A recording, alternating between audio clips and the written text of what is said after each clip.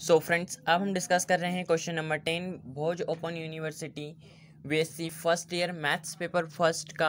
हम question number ten discuss कर रहे हैं, अति परवलय x square upon one plus y square upon four minus z square upon nine is equal to one के बिंदु वन टू माइनस थ्री से होकर जाने वाले जनकों के समीकरण ज्ञात कीजिए।